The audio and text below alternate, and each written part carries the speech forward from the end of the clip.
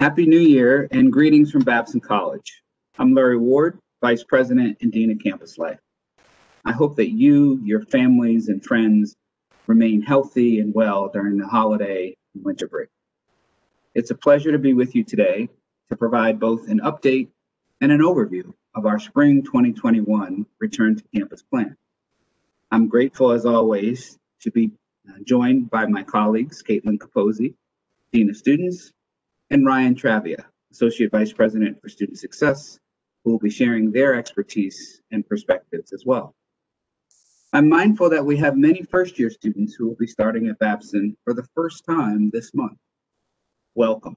We are very excited for you and look forward to being part of your Babson experience.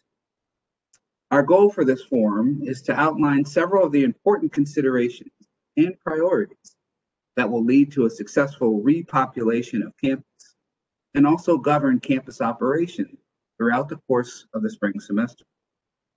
Throughout our discussion, we'll highlight what's new, what's changed from the fall, and what remains some of the same expectations and responsibilities.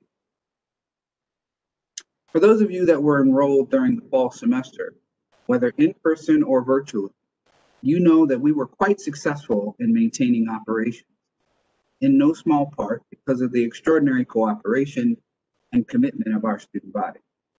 I'm grateful for your dedication and very optimistic for a similar effort this semester.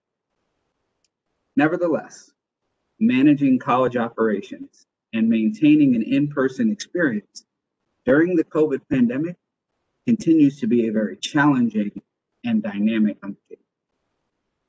We remain committed and guided by two principal objectives, safeguarding the health and well-being of our campus community and providing academic continuity and delivering excellence in the learning experience for our students. I think it's super important as well to understand that every member of our community shares in the responsibility to keep us safe and together. We've worked hard as an institution and invested heavily in risk mitigation efforts that include de-densification of campus buildings and spaces, including classrooms and residence, enhanced cleaning and disinfecting protocol, designating one-way ingress and egress pathways in buildings, adding directional and guidance signage throughout campus, enhancing airflow and building ventilation systems, and ensuring that we have safe operations in campus eateries and the rec center. Similarly, our faculty have made extraordinary efforts to adapt teaching strategies and shape the learning experience to accommodate learning in person, hybrid, and 100% virtual. Nevertheless, as students, you play an outsized role in writing our success story by doing five simple yet remarkably effective. One, consistently wearing a face covering for your own and others' safety. Two, practicing social distance and ensuring that others maintain proper distance, especially when indoors and particularly when behind closed doors. Three, getting regularly tested for COVID each week. Four, monitoring and reporting symptoms daily. And five, washing or sanitizing your hands frequently.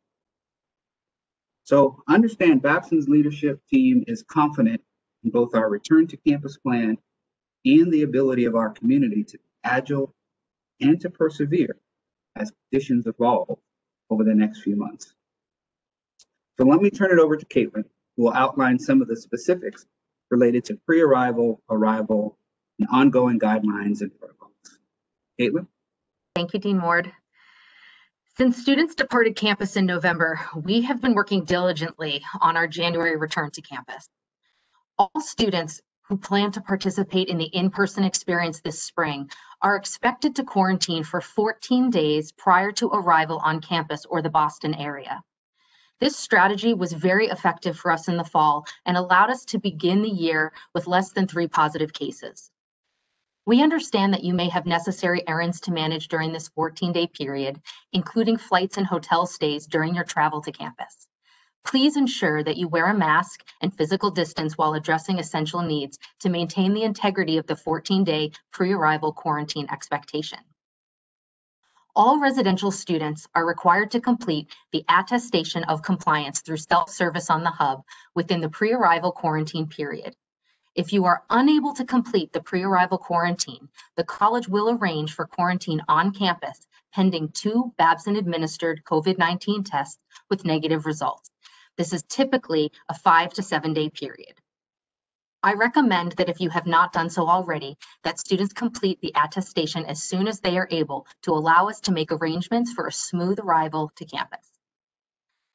Earlier this week, students received an email from Dean Ward introducing a new set of virtual tools to improve the student experience as it relates to testing and symptoms monitoring compliance.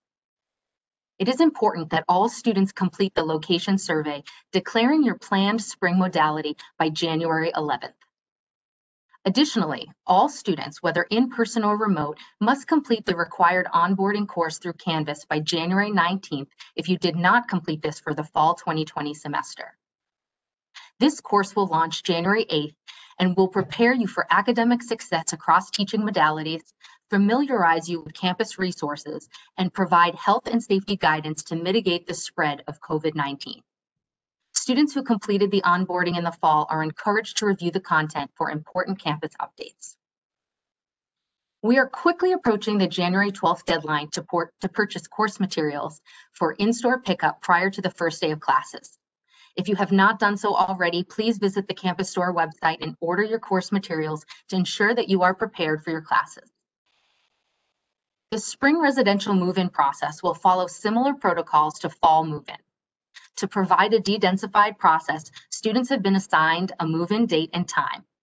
These arrival dates and times can be changed if your travel requires it by emailing the request to the housing operations team. All residents must complete their first Babson administered COVID-19 test immediately upon their arrival to campus and may not enter their assigned residence hall until doing so. Any student arriving outside of the testing center hours of operation may report to their residence hall and are expected to quarantine in place until the first available testing site the following day. Please schedule your tests in advance. Students who require move-in assistance may have one move-in helper join them on move-in day. For safety purposes, we ask that you limit additional family and friends on campus during this time. But if you require additional support from family and friends, please note that these visitors are permitted on campus in public areas, but only one designated person will be allowed to enter your assigned residence hall. Anyone accompanying you to campus must complete the visitor registration form located on our website. After moving into your residence hall, Students are expected to quarantine in their assigned room until receiving their first negative COVID-19 test result, typically 24 hours.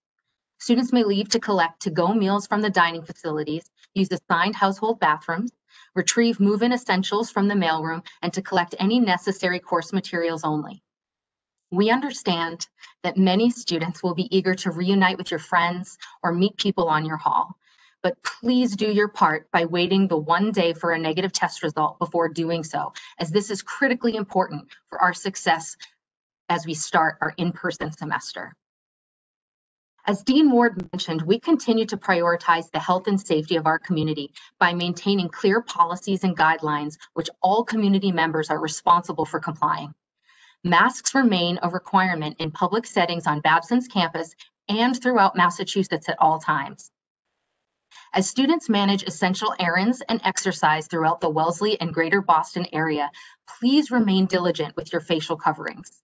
Community members are also expected to maintain six feet of physical distance at all times. These two mitigation strategies remain our strongest defense against an outbreak of COVID-19 on Babson campus. As we begin the spring semester and manage testing compliance for our community, residence hall access will be restricted to residential students assigned to their building only. It is critically important that students review and follow all expectations for health and safety for, to encourage health and safety for all. Students who blatantly disregard these expectations are likely to be removed from the in-person experience. Early next week, I will be sending an email to all students with updated COVID-19 health and safety guidelines that outline expectations and policies, including gathering sizes. These guidelines are regularly evaluated based on guidance from the Massachusetts governor and recommendations from our consulting industrial hygienists. As we review the number of positive cases and compliance with testing and symptoms monitoring, our hope is to create opportunities for more in-person events and programming as we did in the fall. With the approaching winter weather, students who are here in the fall will notice that the tents in the Park Manor Quad and Hollister parking lots have been removed. To ensure that we have adequate gathering space for students, we have identified locations across campus for group study, club and org programs, private study, dining, and socializing. These include expanded seating in Trim, the Market and Park Manor West, Knight Auditorium, the Reynolds Campus Center, and Trim 201-202, among others. We will be sharing a full list of available and bookable spaces via email prior to the start of classes. I highly encourage students and families to regularly check your Babson email and review the Babson Together website for the most up-to-date information regarding the spring semester. We are eager to welcome you back to campus in a few short weeks. And I'll now turn things over to Ryan Travia, our Associate Vice President for Student Success. Ryan? Thanks very much, Caitlin. As Dean Capozzi shared, it is critically important that students comply with weekly testing and daily symptoms monitoring. To improve that experience for our students, we recently unveiled a new mobile-friendly system called Acuity for scheduling your COVID tests and completing daily symptoms monitoring, along with several other features. As a reminder, all students who plan to be on campus will need to have two negative COVID tests administered by Babson before in-person classes begin. These tests should be scheduled three to five days apart. Following these initial return to campus tests, students will be on a testing cadence two times a week until February 15th, with a minimum of 48 hours between tests. Appointments at the COVID testing center are required, and we strongly encourage you to pick a day and stick to it. The new Acuity scheduling system actually allows you to schedule recurring appointments, which is one of the new features from what we had in place this fall. You will complete your daily symptoms reporting on the same site, and if you are symptomatic, you will be instructed to stay in your room, refrain from attending in-person classes, meetings, practice, etc., and to call health services for a consultation, at which point you would likely be invited to come to the clinic for a COVID test. In addition, we have launched a new travel form accounting for both out-of-state and out-of-country travel, or if you plan to be off campus for five or more days. While we strongly discourage travel from campus and the Boston area, we understand that urgent matters arise, and we can safely welcome you back to the in-person experience. Upon completion of the form, an individualized assessment will be conducted by health services with follow-up instructions provided regarding requirements upon your return to campus. If you were previously diagnosed with COVID from an off-campus facility, be sure to share that medical documentation with health services so that we can make appropriate accommodations for you regarding the college's testing protocols. And again, as previously mentioned by Dean Capozzi, the location survey, including your learning modality, must be completed by January 11th. Students will begin receiving their daily campus pass when their second negative Babson COVID-19 test is confirmed. For the duration of the semester, this daily campus pass will be emailed daily to students who are in full compliance with the testing requirements and who report no symptoms on their daily symptoms report. Please keep the badge on your mobile phone as confirmation that you are in daily compliance. Now, in the event that a student tests positive for COVID, is symptomatic and or has been identified as a close contact of someone who is tested positive for COVID, they will enter our quarantine isolation or QI protocol. You will first hear from one of our clinicians in health services, and following an interview, a determination will be made regarding whether or not you need to enter isolation or quarantine space, and if you will be able to complete QI on or off campus.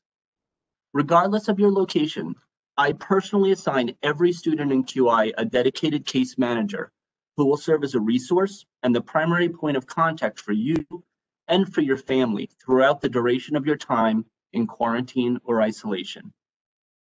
We manage communication with your faculty and deliver three meals a day, including lunch, dinner, and a continental breakfast. A clinician from health services will call you daily to check in about your health status. Wellness and prevention services and counseling and psychological services will also continue to offer individual support for students, as well as a weekly drop-in support groups for students in QI. Next, I'd like to take just a few moments to talk about a few of the departments within the Student Success portfolio. Health Services, which I've mentioned a few times already, provides free, confidential health care for all full-time enrolled students.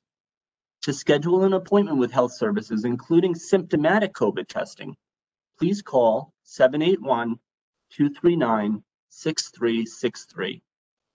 The Health Service is also responsible for managing the college's immunization compliance program.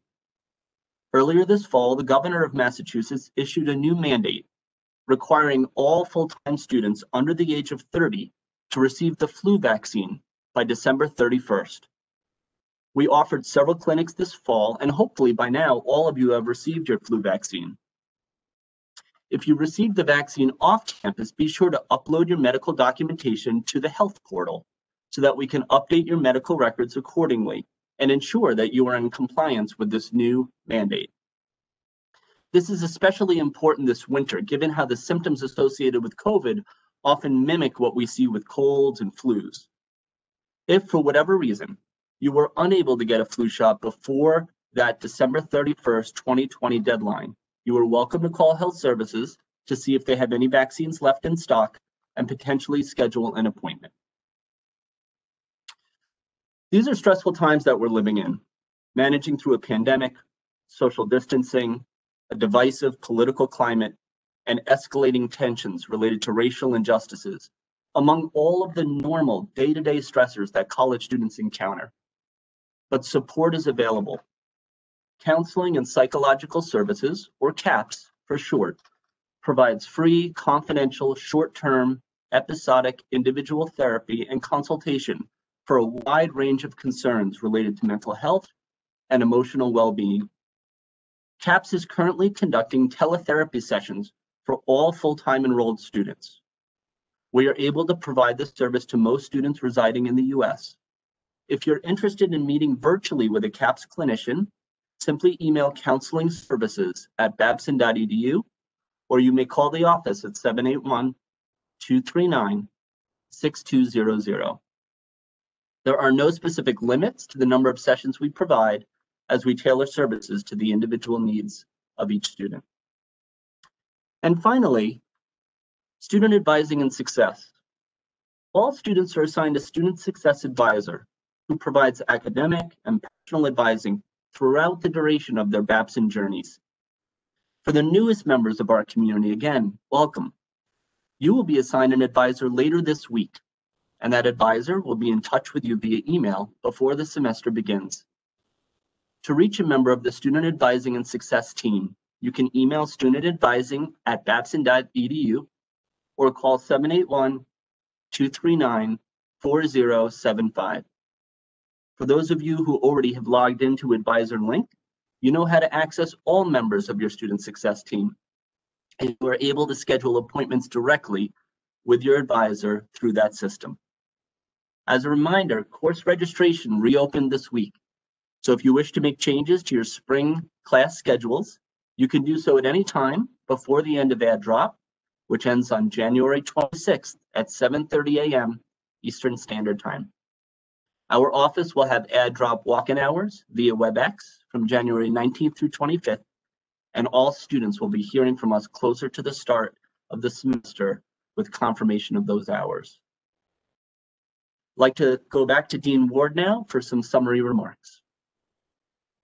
Thanks, Ryan, and thank you, Caitlin, uh, to both of you for uh, really laying out uh, expectations. Um, I'm just super impressed with the work of, of your units, and I think you're both well prepared to welcome back uh, our students. you know, the, the balance between efforts to safeguard our community and also maintaining connection to each other as a community is vital uh, to campus life. We know that being together, even when it looks and feels a little different, matters. It matters for your well-being, academically, personally, and emotionally. As Dean Capozzi said, we're going to have student programming and engagement through student clubs and organizations, our centers and institutes, through Babson Arts, within the Babson Recreation and Athletic Center, the uh, Babson Varsity Athletics, Babson Dining, Residence Education. And for us to be successful as a college community, we have to do more than just want to be successful. As with anything that matters, wanting something to happen is a necessary but insufficient condition for success. We will be successful with individual and collective effort and discipline, some sacrifices, and selflessness. Throughout the fall semester, we demonstrated what's possible and learned a tremendous amount about what works and what does not. We also did not hesitate to pivot and make appropriate adjustments along the way. And this semester, we'll do the same thing because flexibility, patience, and resiliency are central to our formula for success. So whether you are starting at Babson for the first time or returning to campus for your final semester, we're excited for your arrival on campus. And we look forward to tackling this challenge and this opportunity together. Thank you for joining us. Please stay safe and be well.